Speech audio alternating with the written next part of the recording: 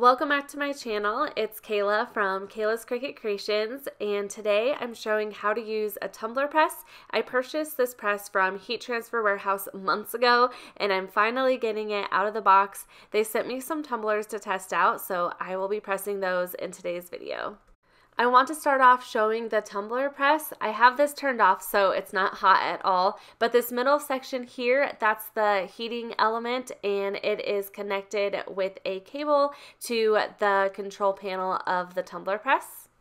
To turn it on, I just press the green button on the side and you can see the control panel here it'll automatically start warming up to the last temperature that you had. Also, if you want to switch it from Celsius to Fahrenheit, you'll hold that set button for five seconds and you can hit the arrow down for Celsius or up for Fahrenheit. Once you have the one that you want selected, then press the set button for five seconds again. To set the temperature, you'll press set. It'll show SP and below it, it'll show the temperature.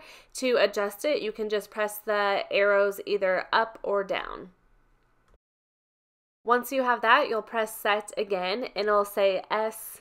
I don't know what that is. It kind of looks like an E, but it's missing the top. But then you can press the up and down arrows and select your time. So here I selected 60. Select set one more time and that will save your settings. It won't beep to let you know it's ready, but you'll be able to see that it is on the screen. When you press the handle down, it'll automatically start counting down and that little time symbol will show up. On the back of the press, there will be two black knobs. When I first took this out of the box, it had some oil on it, so you'll want to clean it off a little bit. Just don't clean off any of the silver part. But these adjust the size and pressure depending on what tumbler you use, and I'll show you how to do this with the tumbler in a second here. But you do want to try to adjust both knobs the same amount to get even pressure. Here's a closer look at the tumblers. There's lots of fingerprint smudges, so I will clean it. I love the sparkles on this. So the first two, the silver one and the next one will be green. They are 20 ounce tumblers, and with this tumbler press, 20 ounce straight tumblers are preferred, even though you can experiment with it and use some other tumblers as well. I will also be testing out this skinny can cooler, which will be fun, and also this frosted 16 ounce glass. If you've watched my other YouTube sublimation videos, you'll know that I use A-sub paper. This is still A-sub, but I bought a different paperweight. This is 105 compared to, I think, 125 that I normally use. And the reason for that is because of the seams on tumbler wraps. With this paper, it feels more like copy paper weight and it just helps with not showing that seam as much. I found all of my designs from Creative Fabrica. I can leave them all linked in my description box. The sizing for this was 9.4 inches for my width and 7.9 for the height and I just used Canva for it. Once it's done, I use my paper cutter to cut off all of those white edges. I really need to get a new blade for my paper cutter because it wasn't too sharp, but it still worked. I'll be adding this design to my silver tumbler. I grabbed some rubbing alcohol and cleaned down the tumbler really well. I see some people using a lint roller to make sure there's no dust or lint on it as well. You just want to get it nice and clean because if there's any dirt or anything on there, it'll show up. I decided to flip my tumbler upside down and add my design that way so that I can just kind of line it up with the edge there. And it looks like I had this sized pretty well. I wanted it to overlap about an eighth of an inch and I think it did that. You'll want to pull the paper as tight as you possibly can. So I did that and then just held my thumb on top of it.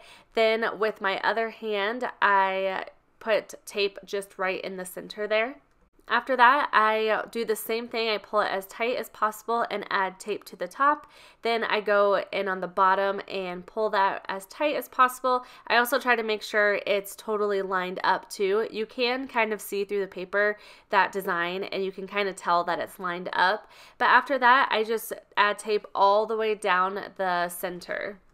If you make a lot of sublimation projects, I highly recommend this tape dispenser. It's so amazing. When you twist it, it automatically cuts the tape for you. It's such a game changer. It's like you have an extra hand helping you with it. Once the tape is down, I take my scraper tool and run it along that seam. You can also use your fingernail like I'm doing here, and that just really helps press it down to help eliminate seeing as much of the seam. I also tape the top and bottom to make sure there's no ghosting. I use the thicker tape that I have on the side of my tape dispenser there just because it's easier to press this down. But what I do is I run it along the entire edge of the seam first. Then I take both of my thumbs and press against the paper and the tape at the same time and run along the entire edge. I just want to make sure there's no gaps in the paper. I also go in with my fingernail around the whole thing as well once the tape is all down.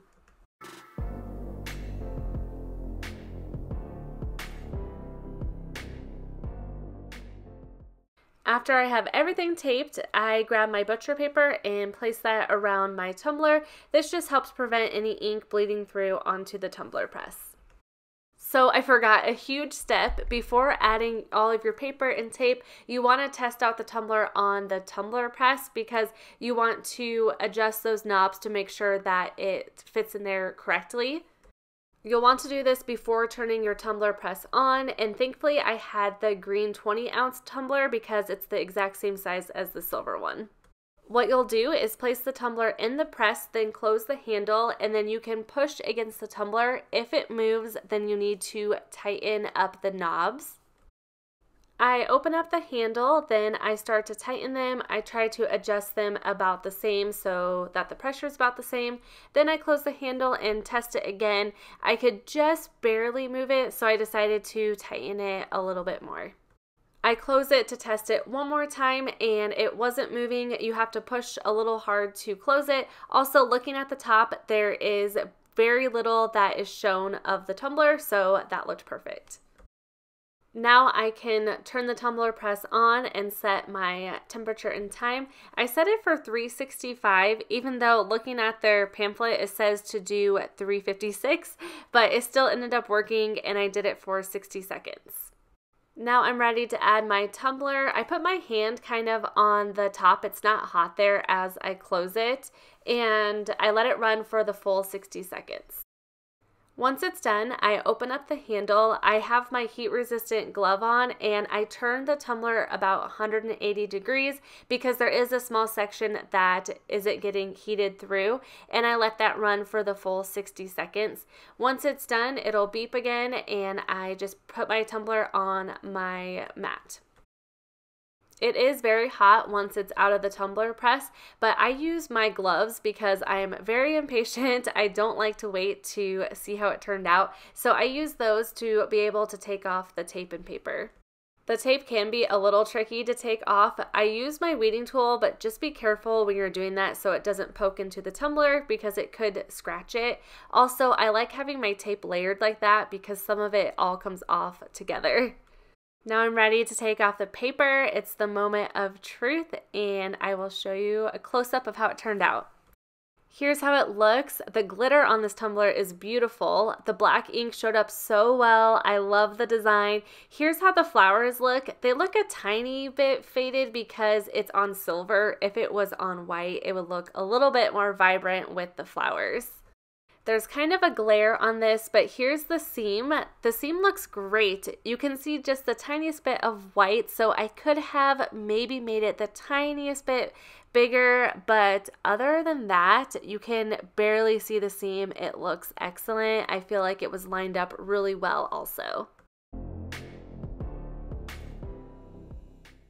Now I'm ready for my next design. This will be on the green tumbler. I print this out again. I mirror my design in my printer settings. Also, I can leave my printer settings in the description box as well. Here I'm cleaning my tumbler with the rubbing alcohol. Once that's done, I'm ready to add my paper and I just add my paper the exact same way I did with the other tumbler. As I was adding my paper, I could tell that it wasn't totally lined up. This one, there was not a lot of room for error. It had to be lined up just perfectly, and I still decided to go ahead to press it, and I'll show you how the seam part wasn't totally lined up. But if you can tell, um, as you're looking through the paper, I would just reprint it. It's better to waste some ink and paper than a whole tumbler, but it's hard to see on the screen here, but you could actually see the images through the paper pretty well. I did make this the same size as my last tumbler and that one lined up so well so I'm not exactly sure what went wrong there but here I'm just adding my tape to the top and bottom and then I will add the butcher paper. Here I'm adding my tumbler and I follow the exact same process as the other tumbler. I uh, press it for 60 seconds. Once it's done, I turn the tumbler, then I press it for another 60 seconds. I cut out me taking off all the tape because that's kind of boring to watch, but here's how it turned out. You can see a little ink on the paper there, and I think I just had it sized just a little bit off, but here's how it looks. I will show you the seam in a second. I do love the glitter on this one, and this design is so cool. I love the sunflowers and the dragonflies. It's very neat. Looking at the seam, you can tell it doesn't totally line up and there's a little white space and as you can see there was a little bit of ink on the paper still. I had it just a little too wide. My measurement was 9.4 for the width. What I would do if I went in and resized it is I would have done 9.375 and I think it would have been perfect. For my next project, I'll be sublimating the frosted can glass. Look how cute this design is for it. The tulips and butterflies are just my favorite. For my temperature, I set it to 356 and for the time, I set it to 140. In their little instruction booklet, it says for a glass mug to do 280, but I just felt like that seems so long and since I'd be pressing it twice, I decided to do 140 instead. I printed this design off in Cricut, so I just grabbed my scissors and cut around the design and get rid of those registration lines. I actually remember to test out my tumbler, and this is quite a bit bigger than the 20 ounce ones, so I had to loosen the knobs up quite a bit. I'm not sure if this tumbler press is really meant for these type of mugs and there was a few things after I pressed this that I would change that I will show you at the end. But here I'm using rubbing alcohol to clean the glass. Then I add my design. Once again, I pull the paper as tight as I can, then add my tape in the center. After that, I take my tape and, and put it around each edge of the paper just to make sure that it was as flat as possible. Then I add my butcher paper around that. Then I'm ready to add it to my tumbler press. I let it run down for 140 seconds, then open it. I flip it around about 180 degrees. Then I close the handle again and let it run for another 140 seconds.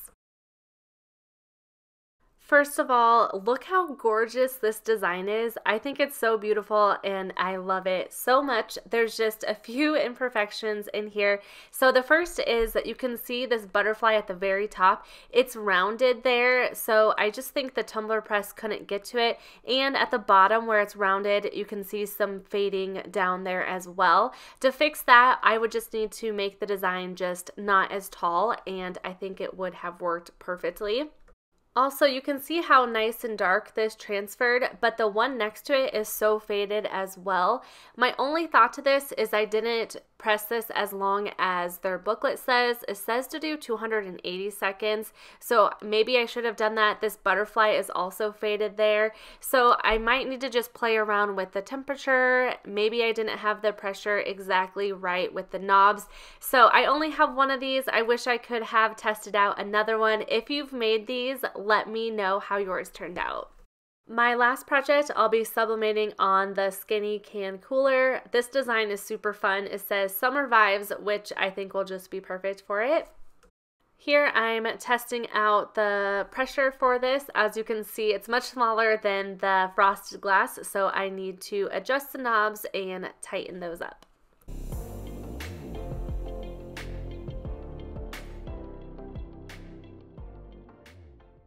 Here I'm cleaning off the outside of it and this type of design is so much easier because it's not an actual wrap. I just tape the paper to it. I make sure to tape all the edges again just to make sure that's nice and flat. Also with sublimation you can personalize these. You can put your name on them so it's really fun. These can make super great gifts as well since you can have it really say whatever you want. I pressed this for 365 degrees for 60 seconds, but what's funny is I was used to doing the wraps, so I did the same process where I pressed it, turned it a little bit, and pressed it again, and all I needed to do was make sure that my design was completely covered by the heat and just press it one time, but that's okay. and the moment of truth for this one, here's how it turned out. Super fun and cute design, and I will definitely be using this this summer. I hope you enjoyed this video. Let me know your thoughts on the tumbler press. I did recently do a video on the sublimation oven, so I will link that down below so you can kind of compare the two.